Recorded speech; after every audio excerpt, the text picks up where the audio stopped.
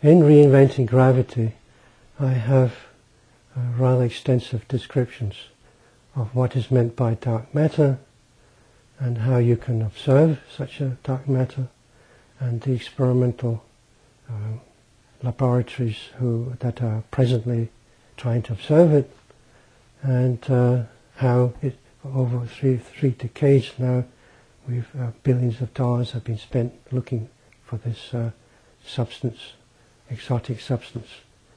And uh, the reason, of course, it's dark is because the particles that make up the dark matter do not interact with ordinary visible matter like protons and electrons. And in particular, the dark matter doesn't interact with light, so you can't see it. This is why it's called dark matter.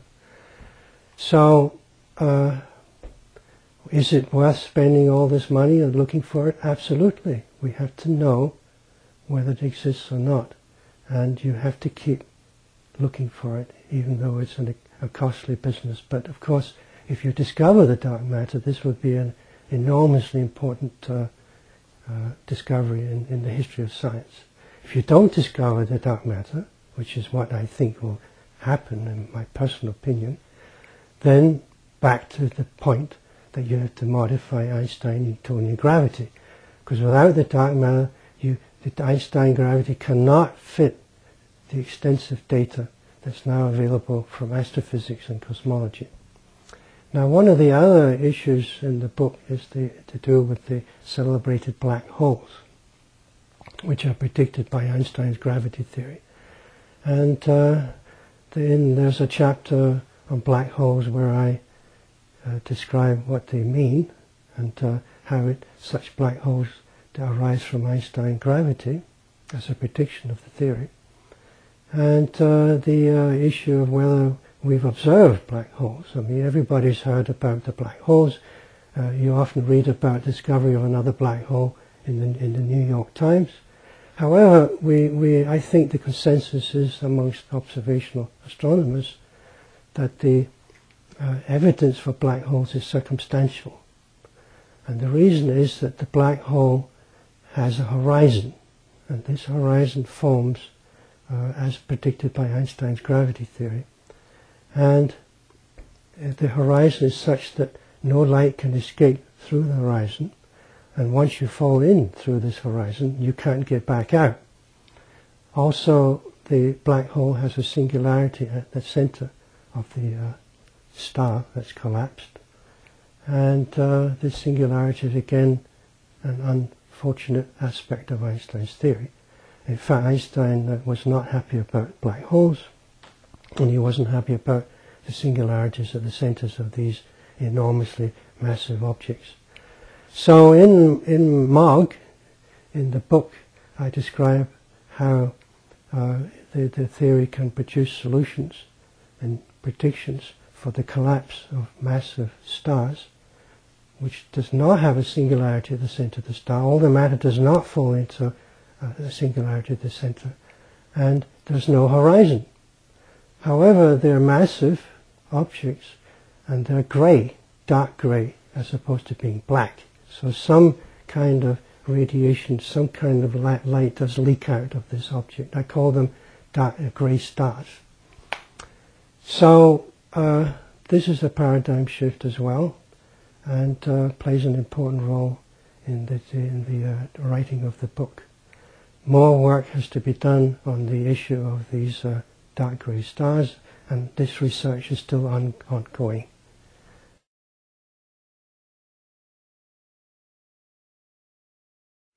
Reinventing gravity has uh, uh, has to be important for the man or woman in the street, uh, for the reason that humanity is concerned about the meaning of life, and uh, if if there's a paradigm shift, significant paradigm shift in physics and sciences, then this impacts the whole issue of our understanding of morality and religion. So, uh, the, the, as we know from the history of science, uh, major paradigm shifts have had this enormous influence on civilizations, starting with the Greeks and going through uh, uh Egyptian, Chinese, all the various uh, ancient Islamic ancient civilizations. That's one aspect to uh, the issue of my of the uh, importance of my gravity theory MOG for for the person in the street who doesn't is not involved in scientific endeavors. As for practical applications, uh, all, most or all of the technology of modern life uh, developed over the last century or one and a half centuries uh, is based on basic ideas that came from physics. Uh, for example, uh, the transistor, which occurs in our computers, uh, the silicon chips, uh, light, uh, the light bulb as invented by Edison.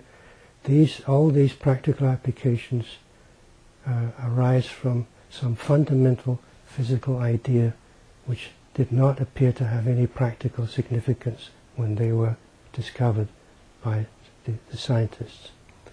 This also applies to medicine.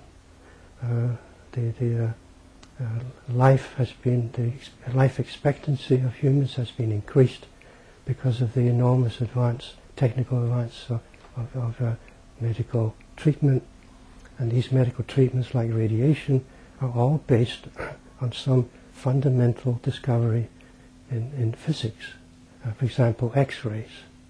X-rays were discovered, uh, and uh, uh, there was not recognized at the time what enormous influence they would have on, on the future of medicine and uh, life in general.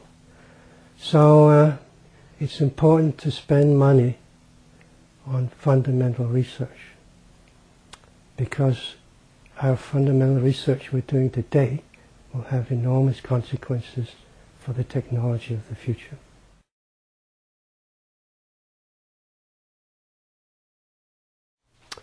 Reinventing Gravity is written for a non-scientist and it has no equations except for one equation, uh, the celebrated equation uh, obtained by Albert Einstein in his special relativity theory, namely E equals mc squared, which is the basis of the atomic bomb. However, uh, there is uh, there are endnotes in the book, and also which uh, are for more expert, expert readers, and there's a glossary which gives explanations for various uh, basic uh, physics uh, words that occur in the book.